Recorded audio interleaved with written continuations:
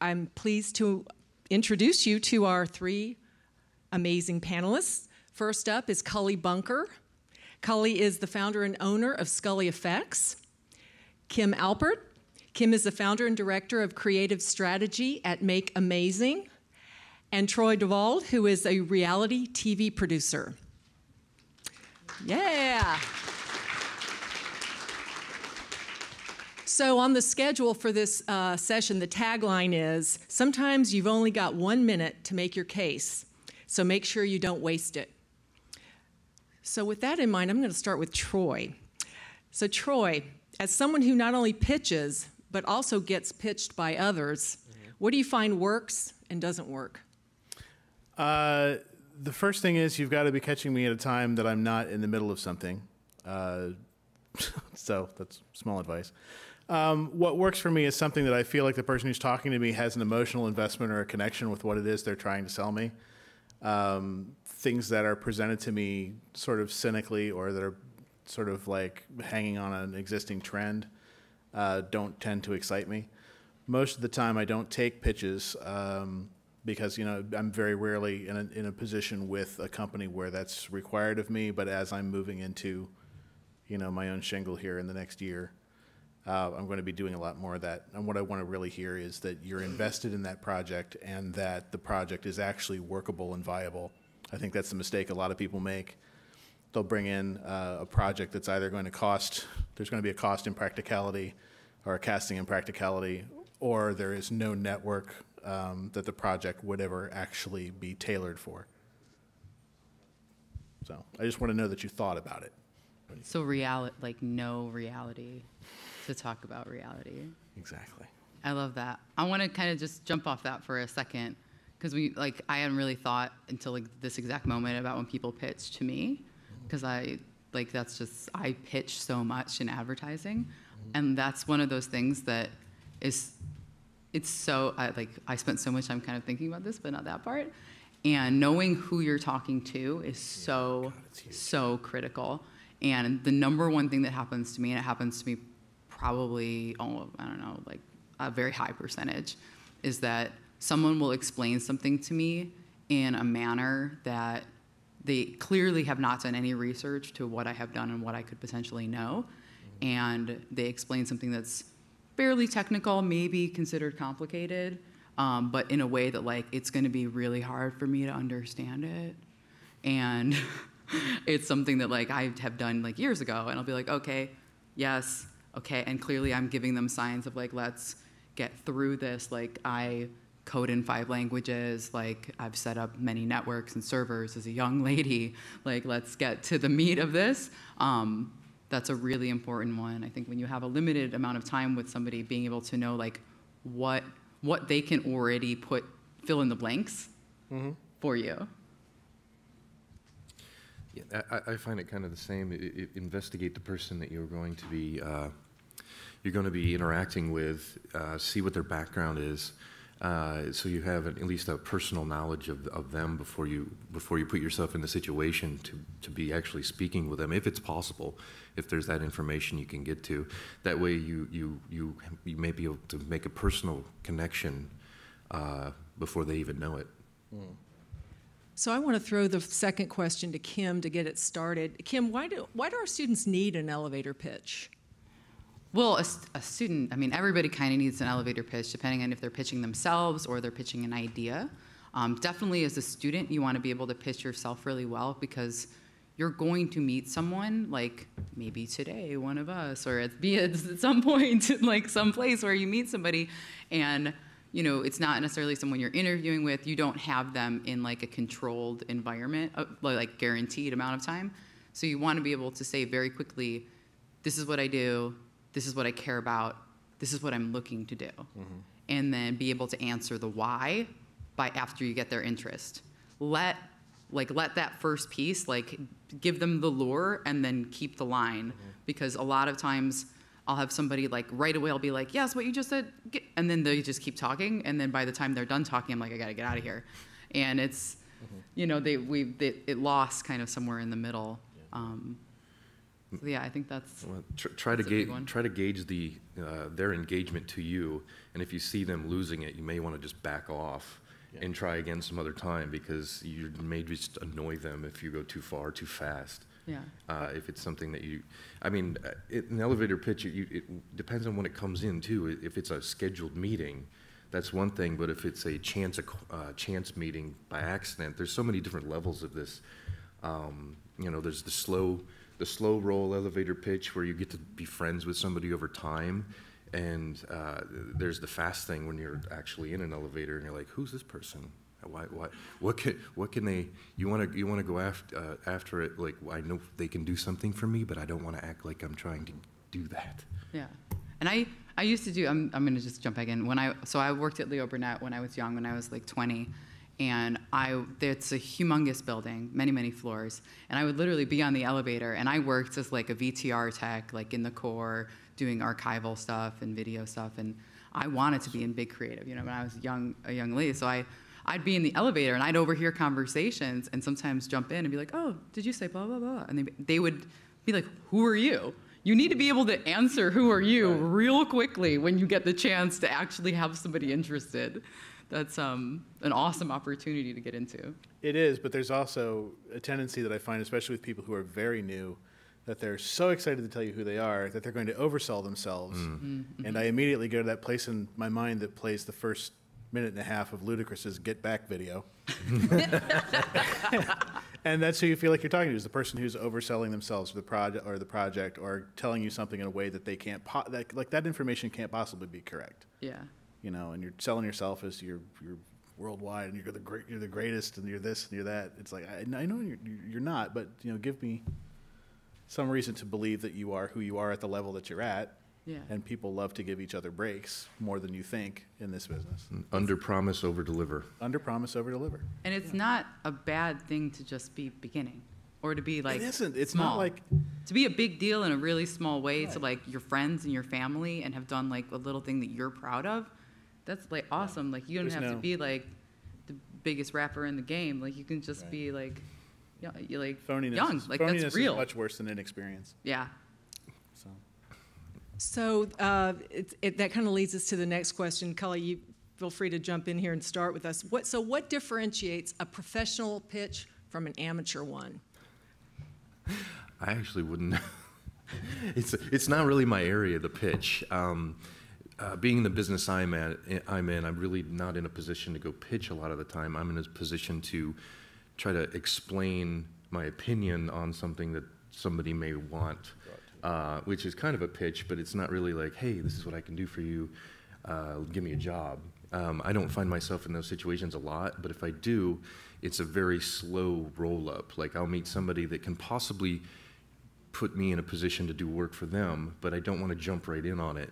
Uh, I, I actually, uh, what I'm calling the slow, the very, the escalator pitch. I get to, I get to, I get to um, uh, try to meet these people, and over time develop a personal relationship before I'll go uh, for any kind of monetary gain.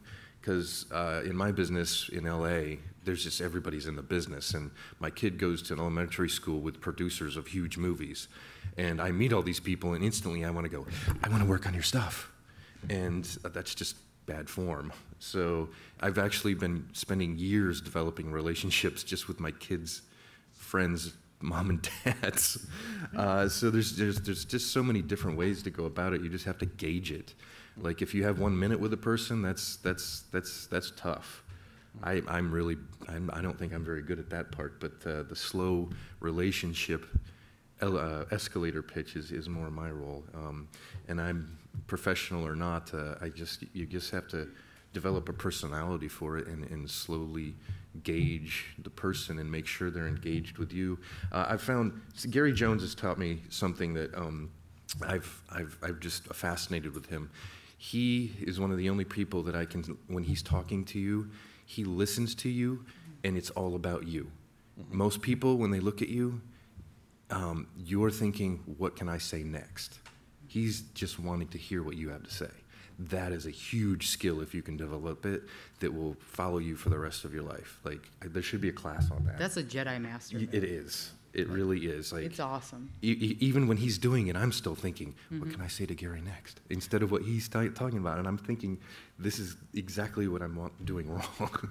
so if you can learn how to be a Jedi Gary master, that will help uh, you in the future. Just really honestly be engaged in listening and, and being able to respond to what, they, what people say. It's just, it's huge. And I, I've learned a lot just listening to Gary. Well, piggybacking off of that, when you talk about listening, I would I would rather be asked for input or advice all day long as opposed to being asked for opportunity all day long. People don't have an infinite resource for giving you that break or that in. But if somebody comes up and says, "Listen, like what I, I like what you do. I'd like to do what you do. Like, what's the start point? Like, what's the first job?" I'll talk to you for as long as I have spare time to tell you how to move ahead and how to advance yourself. If you come up to me and say, "Hey, I would love to work on one of your shows," I don't know you from Adam. Um, and if you want to pitch me or sell me something, I, I don't know what value you bring to the project. I don't have anything there. Like the time to ask me is not when you first meet me. Get me invested in who you are, and then probably the third or fourth time we exchange emails or a phone call, you say, "Hey, I have this thing. Is there anybody you think I could bring it to, or where do you think is a good home for this, or how might I tailor this for such and such an executive?" on a very rare opportunity, maybe one out of a hundred, I'll say, well, I know an exec who's looking for that exact thing, and then I'll bounce you over to that person who's actually buying. So if you ask me for the opportunity, I don't own a production company. I, I- like I don't physically have the means to produce anything that you bring to me. You know, so if you ask me about if you if you try to pitch me or you want to sell me a show, I don't have an answer for you. If you want to ask me how to put something together, and then six months from now, when you actually have it together, and I know somebody who's looking for a particular thing, I'll put you in touch then. Is your, you know, the, the pitch is largely for yourself, and it's largely sort of surreptitiously, it's, it's to engage that person to a point where there might be an ongoing dialogue later, and then you can ask a favor maybe, you know, f- the fourth time you see them. Don't don't limit the future by trying to devour the now. Exactly. Ooh, You know, that's a really. I like see a that? refrigerator magnet. That was good, right? It is. that was the Jedi pitch move. I That just made that up. Exactly. Sweet. You know, but that's that's totally. I see that stuff happen all the time. I think. Um, I think for me, some of like the like noob moves that I see in pitching a lot because I, in in advertising, I've I'm constantly like doing upfronts and pitching and with other agencies and one agency pitching to another agency with clients. Um, know what you're going to say and know what you're going to show and like rehearse. You're performing. Like that's there was a moment in time when I, I was probably six or seven years into my career. I'd been a creative director for a little while. I'd won some pitches. I'd done some pitches that kind of didn't go so great, but like maybe we did a little project instead of the big one we were talking about. Um, lost some pitches where I was like, but that went great. What happened? Um, and I was like, I want to be better. And I actually went and I, I took a stand up class um, with an amazing comedian. She was, she's incredible. And, uh, you know, and I was like, well, this is going to help me be better at pitching. It actually made me love doing a little bit of stand up too. And one of the best pieces of advice she ever gave me, um, she said, think about what you're going to say. Say with the smallest amount of words possible. And there are still moments, I mean, that's, it's probably been, I don't know, six or seven years or something like that since I took that class. And I'll be writing an email, and I'll be like, this could get confusing, or this is somebody who's really important to me. And I'll hear her, and I'll be like, okay, use the smallest amount of words, because there's less room for interpretation. And um, I think that's, that's one of the biggest things. And if you're presenting with a visual aid, don't read the screen. Talk to the person. That's something when I'm in a pitch and somebody's got four bullet points and they're reading me those four bullet points, they literally are wasting my time because that is something I could have read.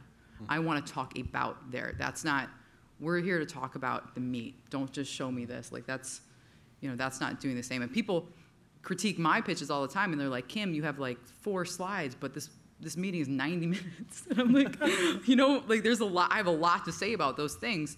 And when I was starting to kind of create that method for me, I would literally write, like almost script what I was going to write with each slide, like underneath them in the notes area, or I'd have one version that was my presentation version, and then a version that had like paragraphs that was like hideous, and that was my like performance version that I practiced on. Um, but that's, you know, there's no, there's no shame in that game. Like pitching is really hard, mm-hmm. you know. And if you're if you're creative by nature, like the most painful, horrible thing you ever have to do is like get up and speak in front of people, or you know, go and feel like you might be facing reject. Like rejection's the worst, but it's you know, it's never the fault of the you. It's not you as a person. It's the moment, Right. you know. And there's always there's good or bad. So, how has pitching, I'll start with you, Troy, how has pitching helped you in your career? Um, well, I used to have a major problem with word efficiency. uh, I'm still struggling with it. It's uh, taken me a while, and I'll stop talking about it now. Um, pitching really, uh, I think that we're sort of afraid when we start to share an idea that if we don't share all of it, that we've failed. Um, and what I've learned from pitching is there's a woman named Ellen Sandler that is part of a group that I lecture with called the TV Writers Summit. We go all over the place and we lecture about TV production. And She worked on Everybody Loves Raymond, and she says, "Do you know what Everybody Loves Raymond is about?" I said, "Well, yeah, it's this guy that's married to blah blah blah." And she says, "No, it's about uh, affection and food and what we do not to interrupt the flow of either." That's every single episode of Raymond. It's got something to do where if I screw this up, then I don't get to have sex anymore. If I screw this up, then mom's not going to bring the lasagna over, or I'm not going to eat well, or whatever. Um, and that was basically the that was basically how you describe Everybody Loves Raymond to someone who's never seen it before. And it's just you try to figure out the most efficient way to get those things out.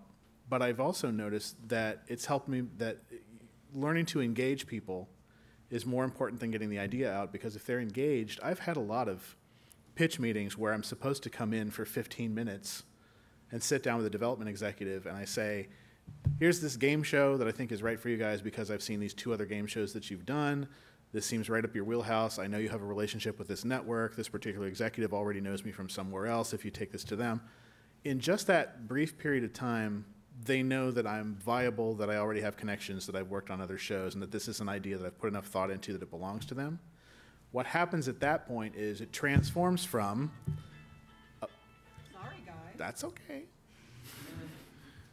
Um, it transforms from a pitch into a conversation. And the deal is always to get to the conversation because the conversation they'll keep you there for an hour and a half or two hours or whenever they have to leave for lunch, and sometimes you get to come with. Um, that's what you want. The other thing about the pitch uh, is the pitch is not necessarily about, if you're talking about television as a project, the pitch is not about whatever you've brought in that day. The pitch is about you. And what ends up happening is, is they say, I had a good time with this person in my office. So the next time they have something, come back anytime and talk to me about it. Let me know when you have something else. They might even start doing things like tipping you off. Like I have a major network that calls me and says, listen, we're really looking for some big shiny floor game shows right now, which is what they call this. Their affectionate title is the shiny floor game show for any game show that takes place in a studio. Um, so then my mind can go in that direction, and I have a better chance of selling them something because I know what the head of that network is looking for at that particular time, and I'm bringing them things that are tailored to what they want, and I can start creating specifically for them. Um, again, just get to the conversation. Don't worry so much about, you know, getting every piece of information out that you have memorized about your show. It's about developing a relationship with those execs. Yeah, I mean, to that to that point, when I saw some of like the most savant, incredible pitches that I've ever seen, I've been in the room with like executive creative directors that just like slay clients. That just like are winning like billion dollar business. They ask questions and they react in the room. And I remember when I was like had like an aha moment and was like, oh my god! And that's to turn that around. It's a very difficult thing to do. So I don't. You shouldn't be like, so how was breakfast? Like it has to be like a relevant question that like kind of works. Um, but it just it changes the whole dynamic of the room because then all of a sudden everybody's engaged and they can change because the need state you know I, I mind are all going to be kind of advertising related like the need state of where the client is and what they think they want might not be right so a lot of times you're going in and you're pitching work that's based on a brief that may not have adequate research or knowledge or experience to really even be the right brief to do the right work that is actually the thing that's going to change their business and do what the, the outcome that they're looking for is. So being able to kind of unearth some of that and be a Morpheus in the in the pitch itself it separates you. And, you know, a lot of times when we go in and pitch, it's usually, you know, three agencies will go up and there's, there's a rhythm and a dance to it that kind of has to happen and find that flow of, you know, maybe you, you know, your, your team will talk for 20 or 30 minutes, you know, put in a break, stop, go slow. Um, I watched a great creative director pitch recently who's um, South American man, he's very animated. And he'll be very animated and be talking about an idea, and then all of a sudden he'd put up a slide and it would just say, stop. And I was like, that's so great. Like, and he's just, he's a very quirky guy, and that really fit his personality. And, you know, he was pitching, there was probably close to 40 people in the room, like a really big brand team, and four or five different agency teams as well.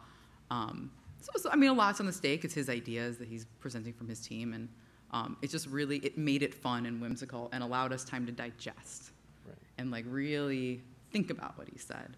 And uh, it was really cool. You know, whatever your convention is that you feel comfortable with, it's not like you know, here's the pitch box, you got to fit in it. You know, be comfortable with what you're doing, and I think everything just goes a lot easier. Okay. So give us an example of a distinctive approach that worked for you and opened the door to a follow up meeting. I can tell you that I remember everybody. Um, and for me, the approach is always the person that you're connected with, the mutual acquaintance that you have with the person that's there. If you don't have a mutual acquaintance somewhere, and I certainly wouldn't recommend it earlier in your career because I think a lot of people that come out of film school, the first thing they want to do is try to pitch an original project. And I always say, go work on things for a couple years before you pitch. It took me eight years to get my first pitch meeting. But when I did, it was with people that I knew who I had come up with who had leapfrogged over me and were now in executive positions at networks. Um, but an approach that worked for me, um, I recently uh, had a pitch where I did a show called Hollywood Game Night. And all four of the executives in the room are people who have either been executives on shows that I've worked, uh, where I worked with them before they became execs. Uh, and I would call people that were connected to them and say, I'd like to set a meeting with so and so. You know, I'm a, I'm a friend of his. We had worked together on such and such a show. That got me in the door.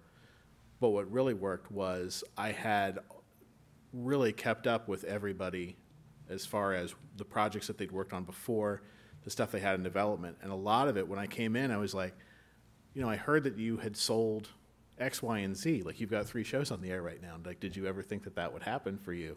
No, I mean, it's really amazing. We love this opportunity. And you kind of, as soon as you can get around the exact facade that people feel like they have to put up in, in meetings, they're engaged. That got me, uh, I didn't make a sale there, but it got me a regular invite to go back and pitch at a network level pretty much anytime I want to. And not being a production company, that very rarely happens. Most of the time, if I'm going to go to a network, I have to go someplace like Authentic that has a relationship with Bravo and say, I have an idea for a show for Bravo. Would you guys partner with me? And then we'll take it to Bravo. But that's, not, that's kind of an obtuse example.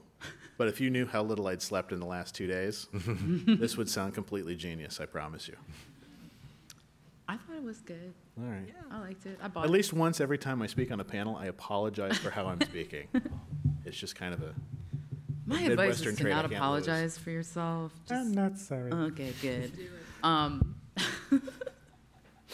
I think it's really similar. I go, I'll go into a pitch now, and sometimes I'll know somebody that's in the room, and like that's such a like incredible. Like you just are like, oh, this is gonna be a little easier. Yeah. Like they know what kind of crazy they're gonna get today, because this is what you're getting. Do you pitch in Um, that voice? Sometimes. That's awesome. Sometimes I do my like crazy scared lady voice. So we have ideas we'd like to show, and then I like just, then I laugh at myself and go into it. Um, I'll talk about. I have like a like a really like a crazy awesome pitch moment kind of thing. That was the question, right? Yeah. Okay, close enough. Um, this is actually. I mean, it's not like a, a really pitch pitch, but like this was an interview, which is kind of like a pitch in a lot, like pitching yourself. Um, and this was like a meeting. It wasn't quite, we didn't know it was going to be like an interview for a job. It was just kind of like, I'm going to meet with this really awesome person and maybe we'll see if they think I, I am too. And uh, I walked around the office and um, I was meeting with Matt Braddock, who's an incredible executive creative director who's, who's not with us anymore. And uh, they had posters all over the office that just said, You're dead a long time. And I was really struck by it. And I was like, This is a real weird thing to have all over this office. And um, when I first sat down, he was like, uh, Well, how, what's going on? And I go, Who put all those posters up? First thing, before we even got into talking about me. And he goes, I did. And I was like, oh, okay. So then I just like cataloged that, like, all right, this guy's a little weird, nuts, like just check. And uh, we talked and like we talked about experience and like how he run he ran the company there and, and some of my creative experience and stuff. And then I noticed that we were both kind of like sitting back in our chairs. And then we were both wearing jeans and loafers. Neither one of us was wearing socks. And, and we were both like sitting with our foot on our knee, so it was like real apparent that neither of us was wearing socks. And I, I waited until we were kind of done talking. And he goes, So what do you think? And I was like, I think we, we shop at the same sock store. And I said it just like that. And he was like really expecting, like, I was being very, very technical and like very buttoned up. And then I just kind of led with that. And we just had like such a laugh. And um, when he emailed me back, he was just like, You're fucking great. Like, just like dropping F bombs, like right out the gate. I was like, What? Like, okay. Like, clearly that, like, that must have been a little memorable. But that's, you know, I Are we think, on a five-second delay? I don't know. Nobody warned me. Nobody warned There's me. no so. cough box on this. I don't know. We had a, yeah. So that's, I mean, that's one of those things. If you can make it personal, if you can be in the moment, and it's so hard to be in the moment, to be like right in the now with folks, um, you can make something really, really memorable. And that's the biggest thing about the elevator pitch is to make it memorable, you know. And that's what you want is for them to call you, to email you, to remember, you know. So when you see them a year from now, two years from now, they're like, oh yeah, you're that person. I met a young lady here a couple of years ago. Um, Benita, who's like such a sweet, sweet girl. And like we met, I was touring campus, and um, she knew I really like bananas. She liked some banana stuff in her work.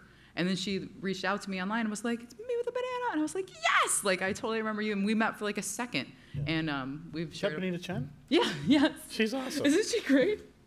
I know she's so sweet. And the And, banana um, thing you remember. I know, yeah. And I was like, yeah, she remembered, I remembered, and it's one of those things like that, that elevator pitch from her, like that moment, she was able to like capture and like do that Gary, like that Jedi move where like you create silence around you, and it's just that conversation that's there. Well, these guys are in a totally different area of, of the industry than I am, so I, I don't have to go quite through this. Uh, I, I end up having, uh, we get a call like, hey, we want you to work on this. What have you done lately? So we have the, uh, a, bunch of our work online that we can say, okay, what do they want? And we tailor uh, an email basically that links to all these uh, recent projects that are relevant to what they want. So we send it to them, and uh, they look at it and say, well, we like your work. Um, what can we do from here? And then I, I don't, I, usually me selling is just going, okay, so you want to blow something up? Here's some explosions. What do you think? We can do that for you. Uh, or you want to look a lot more fabulous? Well, here's what we did for blah, blah, blah, and we can do that for you. And sometimes that just sells itself. So I'm, I'm in a little different league than these guys. I don't have to sell as hard. Um, I've been established for a while, and the people just, they, they call me up, and then I have to try to show them what I've done before and have that readily available, and then just try to make it personal somehow and sell myself with confidence. Like, we can do that. And then uh, back it up. So, how can our students make their personal brand come to life when they're pitching either an elevator, a, uh, elevator pitch or just a project that they have? Sorry. You go. Have a personality. uh, don't be the formal version of yourself in a room. I think what, what Kim is telling you, the people that I've always remembered are people that are super dynamic. Um, couple case studies as far as, as whenever you get an actual pitch.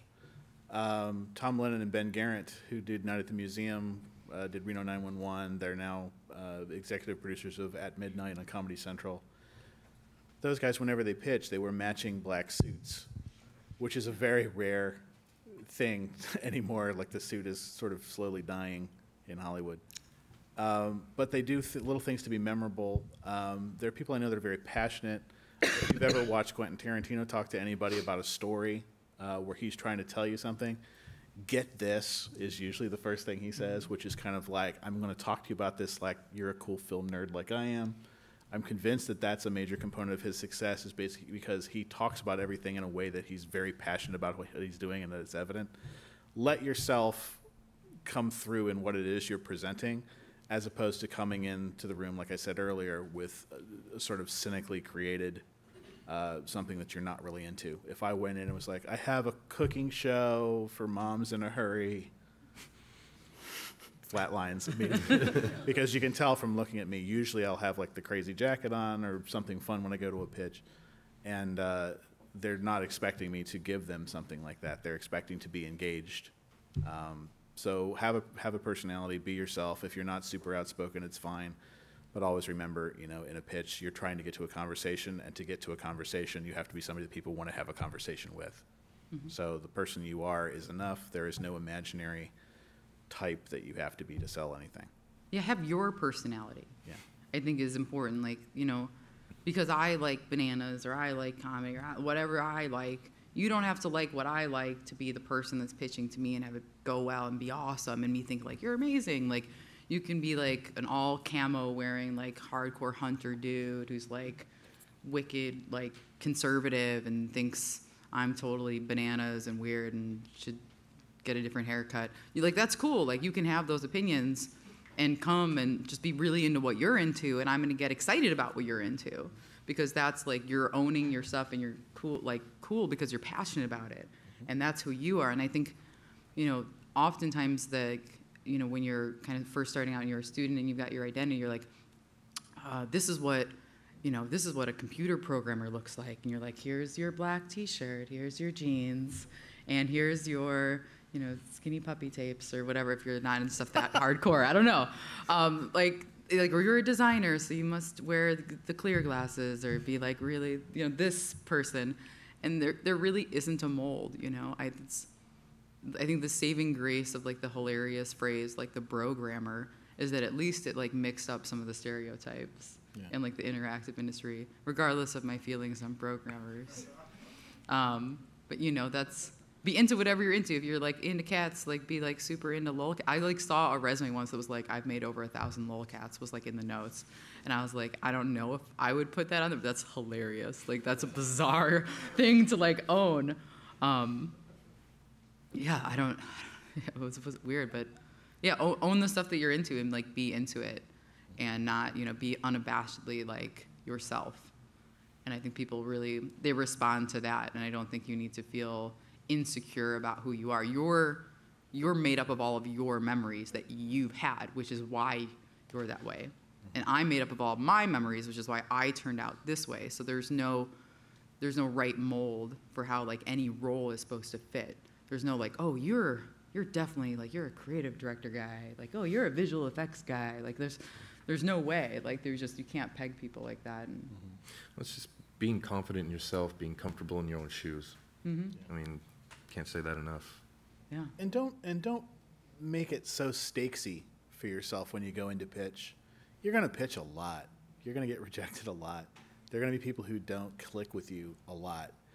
Um, if you go in and you think I've got to sell this, I've got to sell this. Like I really want to sell this. If I don't sell this today, this is going to suck. If I if I don't sell, you can read that on people. And desperation has a very real sort of scent. Like you can really tell when someone Oh feels like I gotta I gotta sell this. You're not yourself. You're not listening to the other person. You're you're controlling the conversation instead of remembering to ask questions and just be part of an experience with another human being. Every pitch you have, even when it sucks, is something that you learn from because you learn how people reacted to you. You catalog that, you move on. The next time you go in, you're like, eh, maybe I won't do that next time. I love that that scene in American Beauty where she's like preparing the house to Yeah. sell that house. Oh. Sometimes if we have like really big meetings or I have somebody that like a friend that's interviewing, I'll send them that clip Right. because she's so crazy. I'm going to sell that house today. Like because it's just such an intense like such a level of intensity that's like unnecessary. Um, or I'll put like Rocky music on or something. Because you just kind of need to laugh at yourself, like if it's because it, it, it feels it's, it is high stakes, you know. But you know, enjoy enjoy the silliness of it, you know. I listen to Joe Esposito's "You're the Best" in the car on the way to pitch meetings. I love that. Sometimes it helps. That's awesome. Do you have a pitch? Do you have like special music, like meeting music? It, it's just really not my forte. Yeah. I'm just not a. Uh, I'm not a traditional pitcher. I depend. I have some. It depends on the meeting. I have like I have like genre specific kind of It's, songs. Well, so uh, I'm glad you mentioned that because should our students have more than one elevator pitch? Should they have a multitude God. of pitches? Always have three things when you go in a room. Always be Because pitching. when somebody says, when somebody says ABC, always be c- c- pitching. Um, whenever I go into a meeting, the, the, the worst thing that can happen is you go in, you say the idea, and they're like, nope.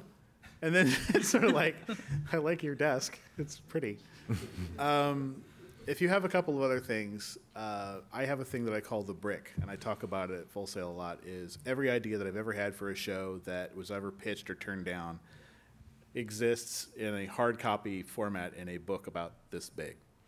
And the brick is for whenever I go in to meetings, I will thumb through the brick before I come to the meeting and just be like, okay, okay, I remember. Okay, well, I have the mother-in-law. Pro- okay, I have that.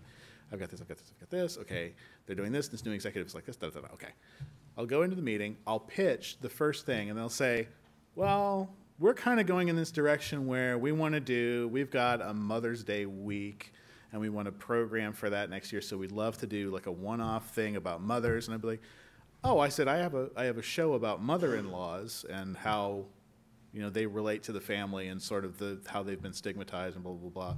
And it's really kind of funny and very tongue-in-cheek, which sounds like what it is you want. If that's not, I mean, I can pitch that for you, and I can send you the you know I can send you a treatment later, whatever. And they're always kind of surprised that there's always something else that they want because the, when you talk to them and they, they they'll people will tell you what they want, but they usually want to know that you've tried to figure it out. And again, that's why I say it's you get to the conversation, you find out what they're really looking for, and if you have something else ready, if you have more than one pitch, if you haven't put all your eggs in the basket where you're going to do like the action show where people beat each other in the face with skillets until one person passes out, if you have something else, then you can continue the conversation. And the longer you can continue the conversation, the more memorable you are, and the greater the chance of you getting into that room again and/or selling something. I am not pitching a show about people beating each other in the face with skillets. I, I was totally just like still thinking about that. I want to Danny watch was it like, now. "We're in the spatula space right now." so if you have anything with spatulas, I still have. I mean, I'm not clearly not a student. I have multiple self pitches because I do multiple things.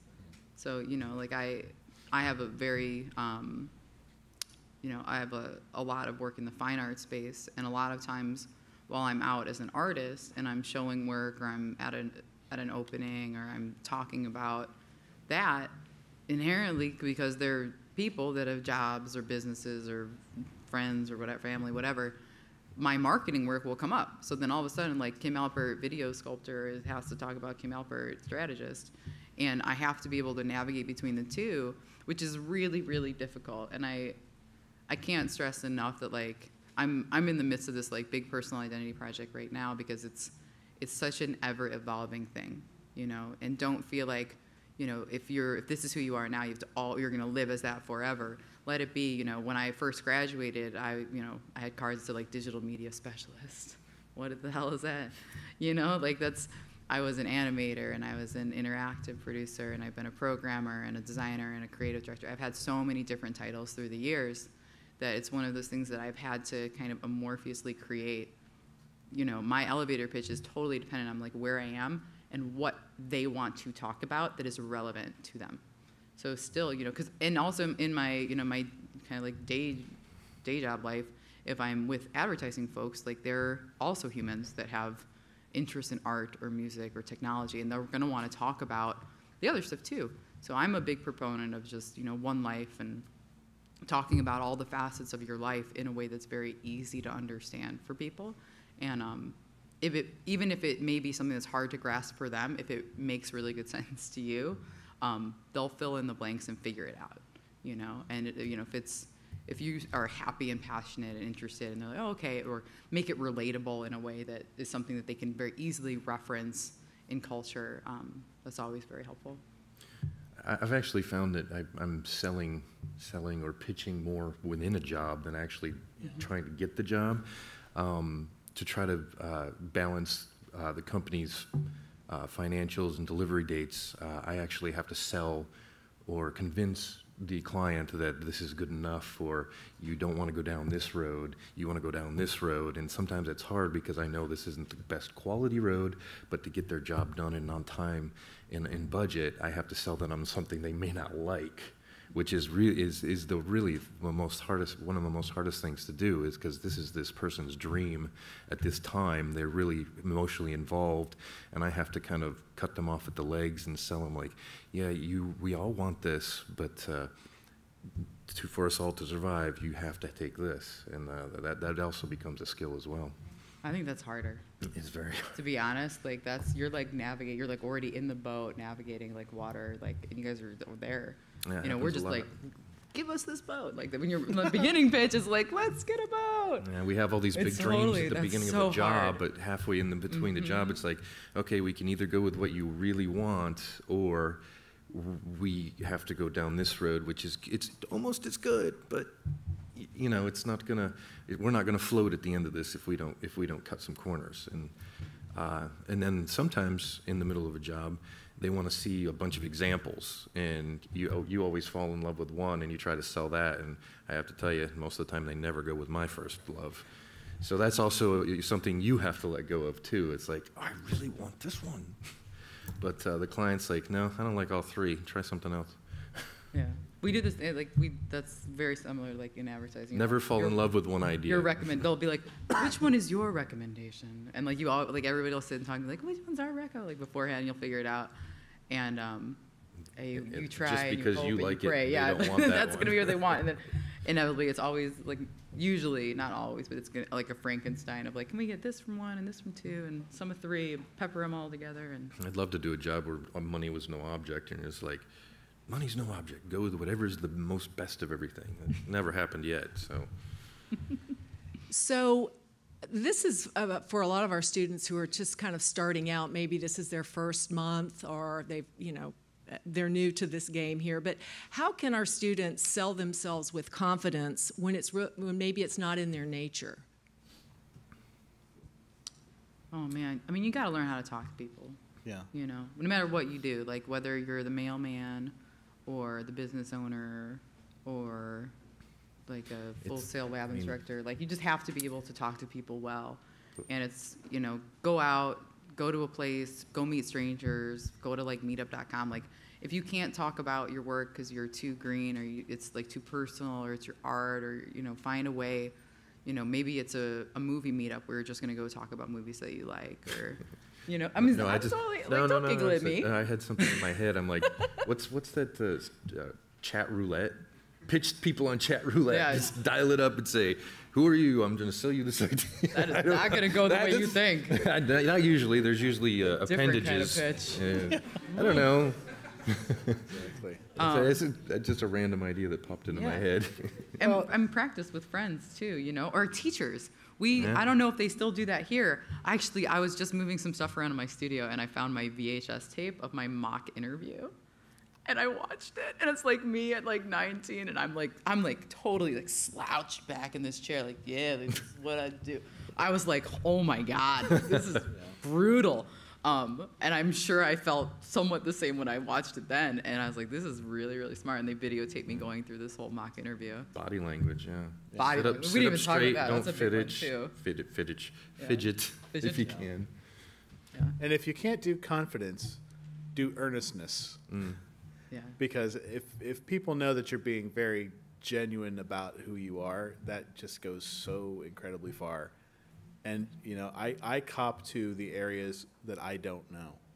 Now at 45 with 300 hours of TV behind me, I'll still say I'm not entirely sure how such and such a process works, but I'm a big fan of these types of shows. Got an idea for this, blah blah blah um, and people people trust you if you're if you're honest with them. Don't feel like there's any sense of bravado that has to accompany. You know, bravado is not the same thing as confidence. There are a lot of people that have no confidence at all that have bravado coming out of the wazoo.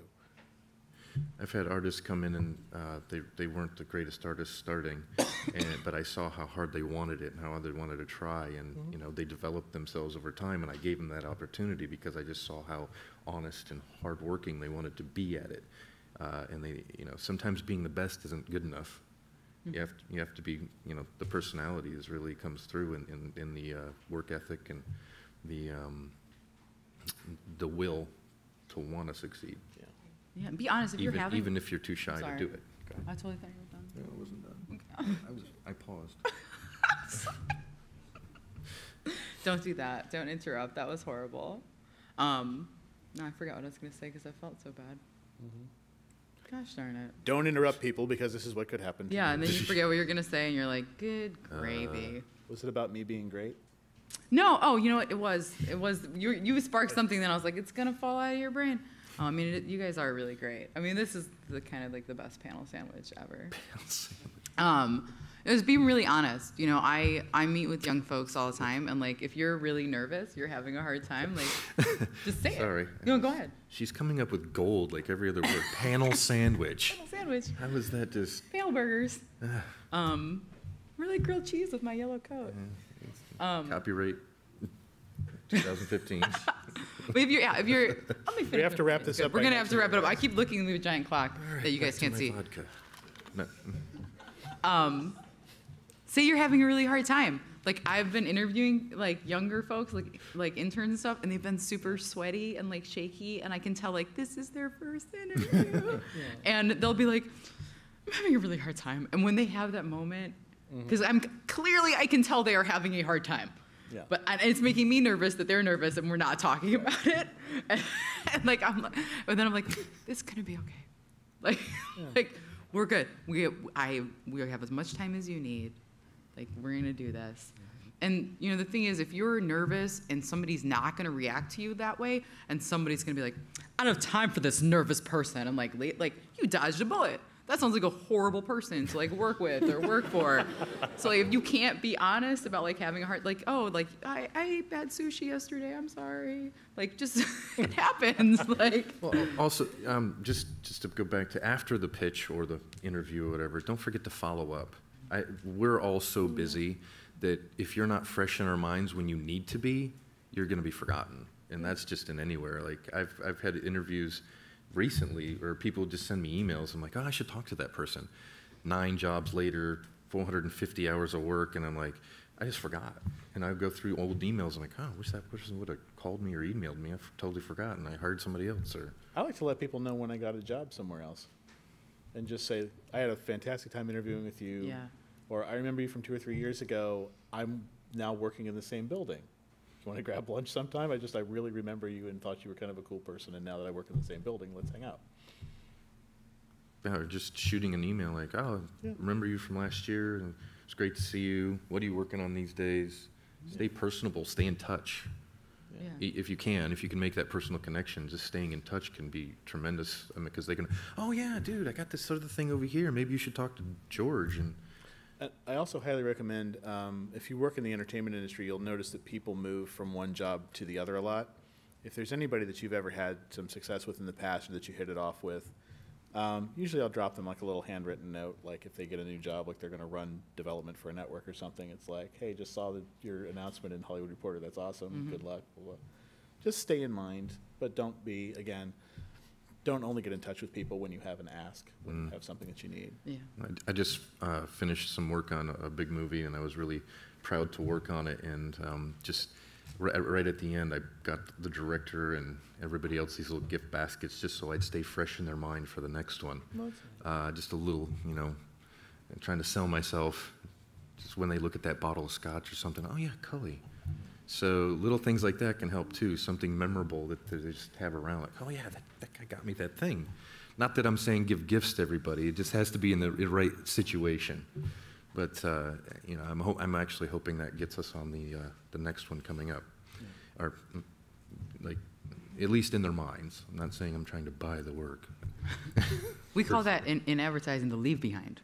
And that's actually a really that's a really, really common thing. And sometimes you'll you'll if it's a really big company, you'll call and you'll find out like what's the what's the policy. 'Cause sometimes you can't give things over a certain amount of money and sometimes it's like ten bucks. So like you literally like need to know. And you'll um, create like custom leave behinds that are for like the room of, of executives. and Mm. It was things just an honest. I really loved working with these Yeah. people. They were at the top of their game. They were fantastic people, and I wanted to, you know, leave an impression one way or another. And I'm like I said, we'll see if that helped.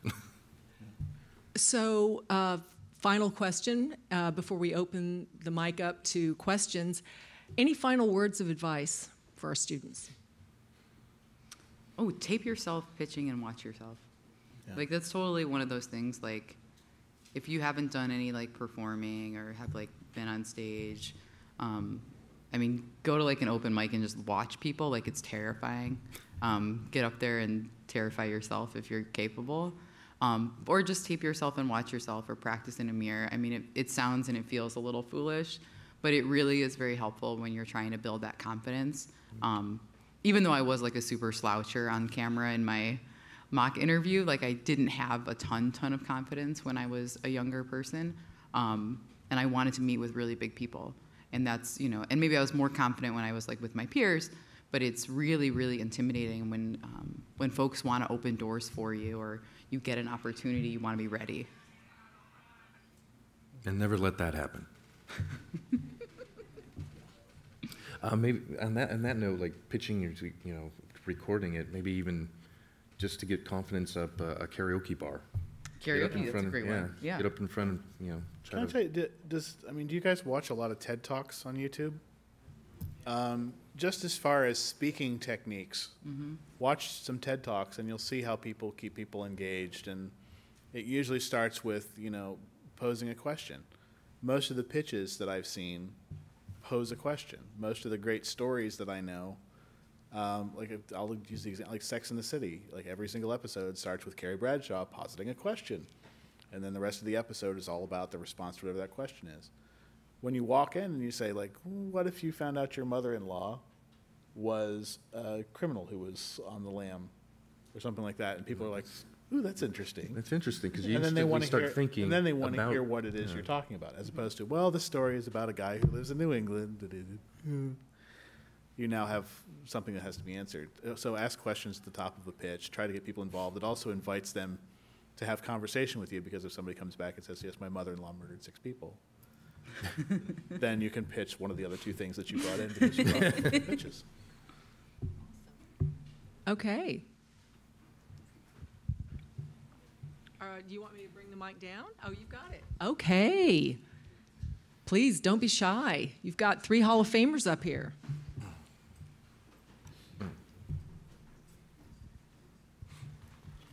Hello. Hi. Um, I got a question. I'm actually a master student in film, and um, Bye, guys. Thanks. Bye. Where is, Great where is- job.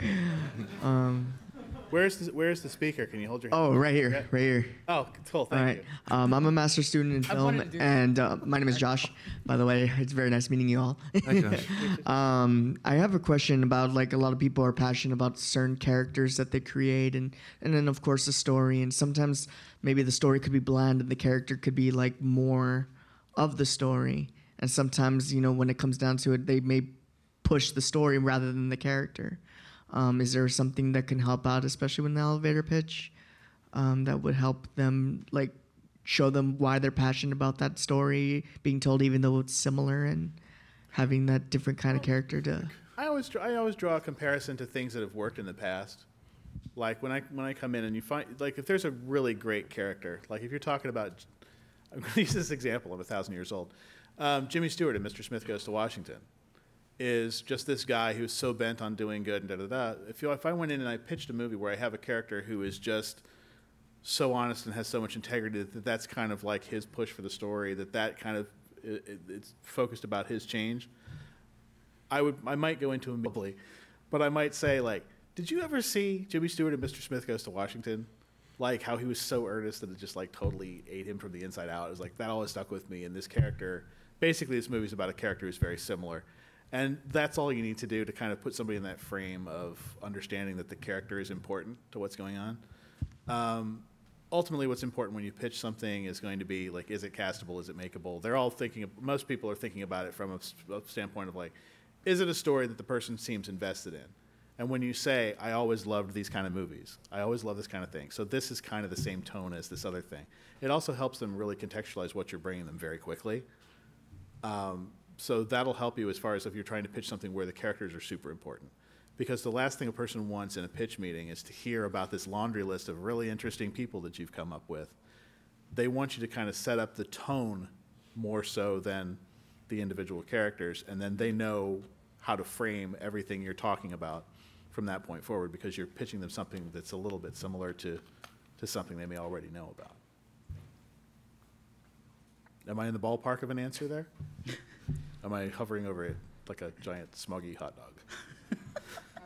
Smoggy hot. I can't, well, I just, I can't see anyone's reactions to anything. Okay, I was just imagining someone sitting in the back just going, oh, no, That was a that was Another gold. not him next that was year. gold. Just gold. Smoggy hot dog. Panel opening. That's what Buck, hello? Smoggy Buck Henry calls smog, is a hot dog over LA.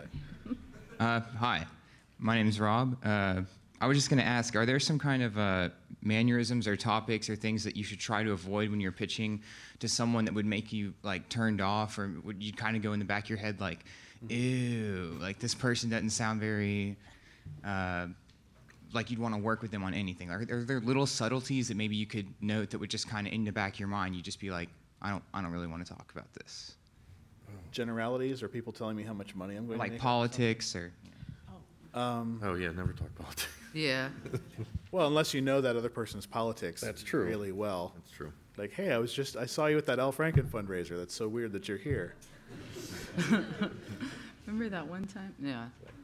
Um, I, you know, I think don't don't assume like with that, but like I get that sometimes where someone will like I, I'll have people assume things of me because, you know, they'll see my art or they'll see my work and they'll be like, well, she's kind of like a funky leftist kind of kooky lady, um, but I'm probably more conservative than you think. Maybe I, I mean not like in like a creepy, like Republican wizard way, but like. I mean, maybe like just in like a, I don't know, in like a fiscal, maybe censored way, you know, like with how I, I view, um, you know, some of my behaviors as I've gotten older, especially, and, you know, make myself more as like a humanist and a universalist than necessarily like a feminist. Like that's definitely one where it'll be like, right, Kim, and like all the women should be in charge. I'll be like, "Mm, the best person should be in charge. Um, so I, I think it's nice to not assume things of, of folks. And um, I mean, don't be gross is always a good lesson too. You know, if you if you smoke, is good. and I was a smoker for a long time, and I think if you like, that's a good thing to just kind of say too. Like even while I was, I wouldn't before I would go and meet with people. You know, like it's just one of those things. Like if you're, don't be gross. Like don't smell. Um, you know, if you're a guy that wears a hat, like wear your hat because otherwise your hair might look weird. Have clean nails, like just really basic stuff that like sometimes we forget because we're so concerned with what we're going to talk about. I'm so self-conscious about everything about me in this exact moment sitting next to you. Are you really? I'm feeling the ends of my fingers like I cut my nails before I, I came on the I, I plane. personally have a problem with anybody coming to see me that are in flip flops or sandals for You the first toes. time. That's what I mean, like, people I- have I- that I stuff. have man feet issues. Like, Yeah. do not come to me in. in No I mean, if you're a woman, I get it. You take care of your feet. You have open-toed shoes, whatever. But if you're a man and you're coming in with sandals, I don't know. It's just. Oh man, and it just. I would. I would be like. Okay, All those you're out the door. nudists. Cripes. Put some pants on before you meet. That's right. But that's that's the individual. I mean, a lot of people in California be like, dude, nice sandals. Yeah. Yeah.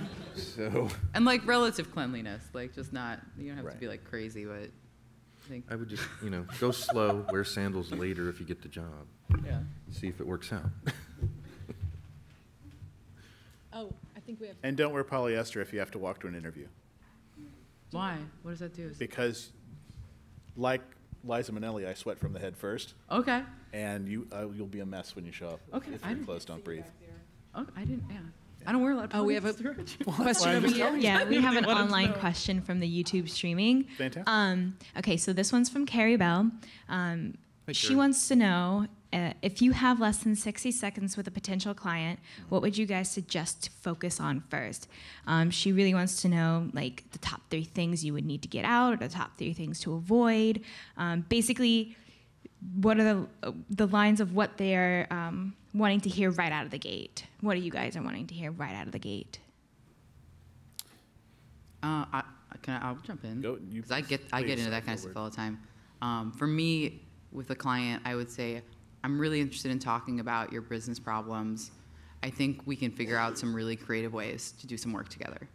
Um, and I think, you know, with that kind of sentence, I'm leaving it open to like, I care about what's going wrong with your business, and I think that we can find a way to work together. And I put the word creative in there because I'm not going to help facilitate anything not creative. so that also like just kind of like peppers them like, well, this is what I do. Um, and that's enough to get them interested, you know. Yeah, that's a great answer. I, I usually, when I'm doing something or pitching something, I, I phrase it in such a way that my value as a participant in whatever's happening is important. Which, if I'm doing, if I was pitching a game show, I'd say, look, you know, I've been working on game shows for a while. This is what I've always liked about your content. They know just from that, I've done this before and I'm familiar with their work, which kind of gets all of that out of the way. Again, it's that establishing a familiarity as soon as you can. Um, and it's what Kim says is really important as far as like caring about what they're, what position they're in. You're, you, if you're pitching something that's yours to that other person and you've only got 60 seconds, it's got to be, I know exactly what kind of content you've done before. I'm familiar with your brand. I know who you are.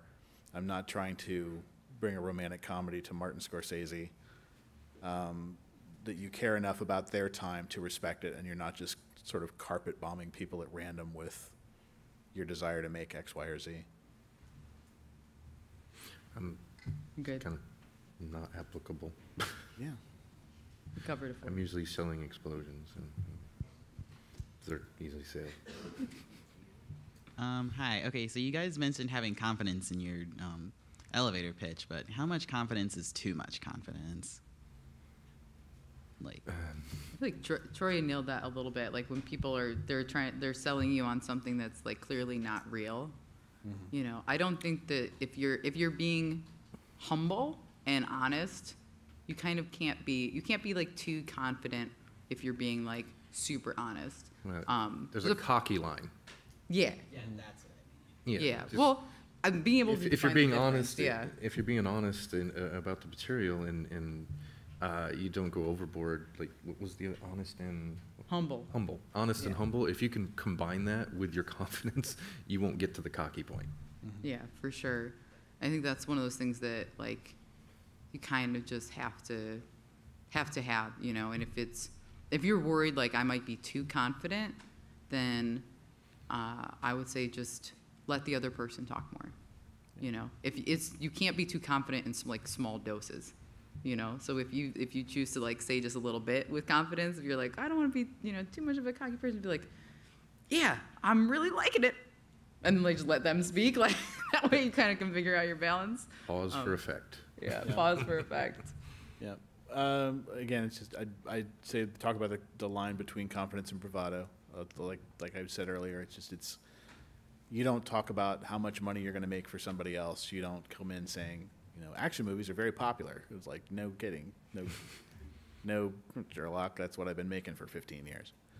Um, also, I find that people that have a lot of bravado are also not paying attention to the opportunity to be asked a question about their product um, if I open my mouth more than twice in a meeting, like I go, like I'm start, like I'm starting to indicate to you that I'd like to ask you a question about your project, and you're still just barfing this list of characters and their special traits and how you did this, and it's going to turn me off because it's just sort of like I know you're excited about it, but like I ultimately would be the person who has to say yes and move forward. I want to ask you questions. I don't might not be information that I need from you right now. So pay attention to what's happening with the other person. Um, I think the ultimate sign of confidence is not feeling like you have such a closed window of opportunity that a conversation will interrupt you being able to sell something.